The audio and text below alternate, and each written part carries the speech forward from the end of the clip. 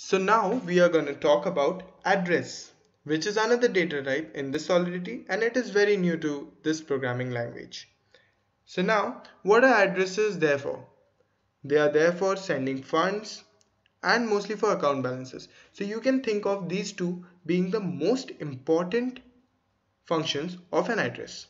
So let's declare a address.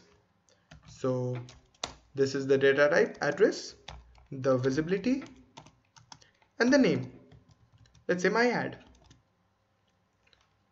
Done. Now just to see how is this working let's create a simple function to put in the address and we'll get the balance out of it.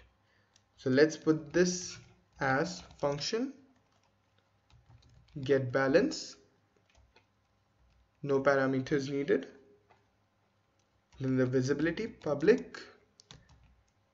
Then view I'll talk about this view in a later stage. For now just go through it. Returns basically for returning some values the return type will be a uint you can say because obviously the balance will return the balance will be returned as a integer value. So now in this we'll write it as return the identifier my ad and then there are some very basic functions defined in solidity which helps us with this data types and their functioning. So uh, there is a function named as balance. So if you write this balance, so my ad dot balance, it will directly return you the balance of this address whichever is used for. So now let's try to deploy it. Deploy. So you can see there is my address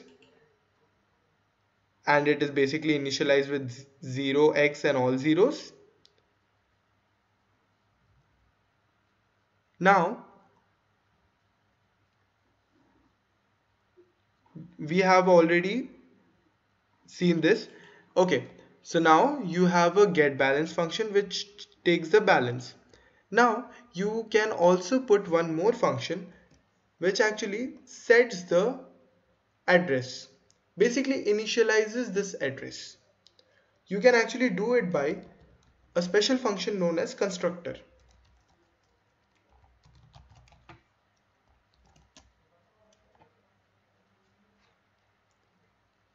Let's say my add equal to let's take any of the addresses out here. You can copy it from here.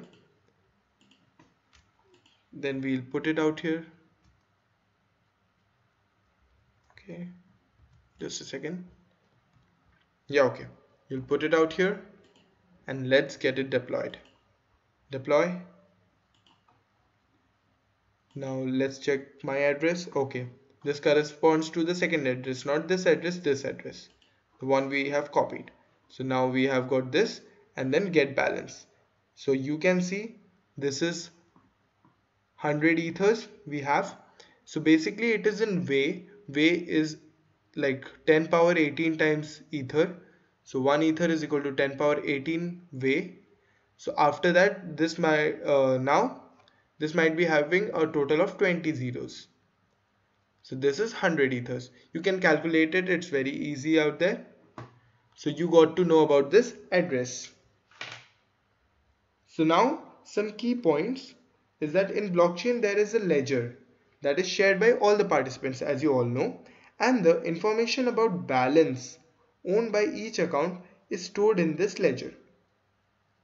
So you have a total ledger and all the balances are basically stored.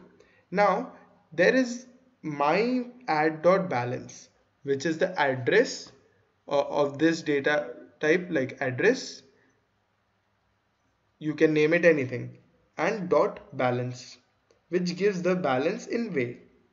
There is also a function known as transfer.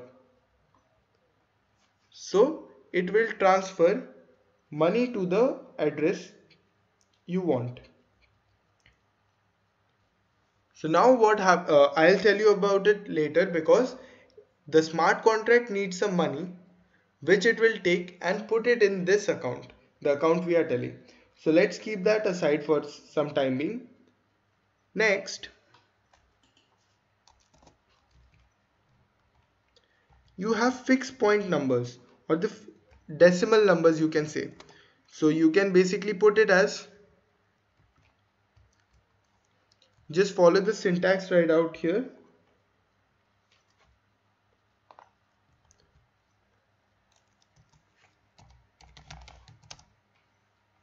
So this is the basically syntax for the fixed point numbers and then public name.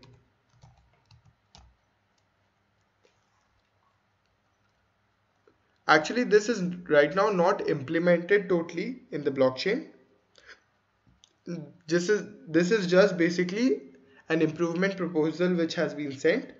So once it gets all set in the solidity we'll teach you this also